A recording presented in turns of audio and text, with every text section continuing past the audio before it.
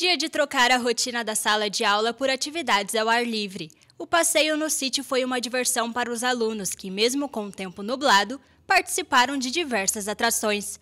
De acordo com a fisioterapeuta Liamara, o passeio seria o último evento da Semana da Pessoa com Deficiência Intelectual e Múltipla, que teve as comemorações interrompidas devido ao falecimento do médico Dr. Eduardo Barbosa, que atuou como deputado federal e foi presidente da Federação Nacional das APAES, considerado como um grande incentivador da causa.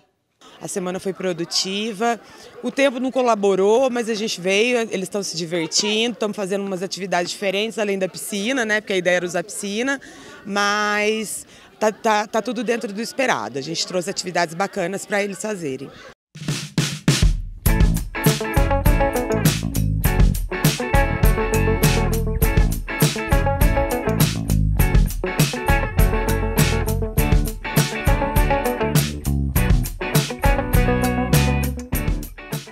Eu estou gostando, passei, muito gostoso, passei. Eu várias vezes eu venho aqui com o pessoal do sítio, adoro o sítio, muito gostoso.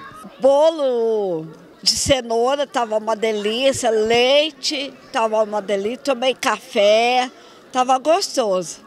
Ó, a dona Marinha sempre disposta a abrir as portas do sítio para gente, preparar um lanche gostoso. Então fica aqui o, agradecimento em nome da Monique, da dona Áurea, agradecer toda a família da dona Maria.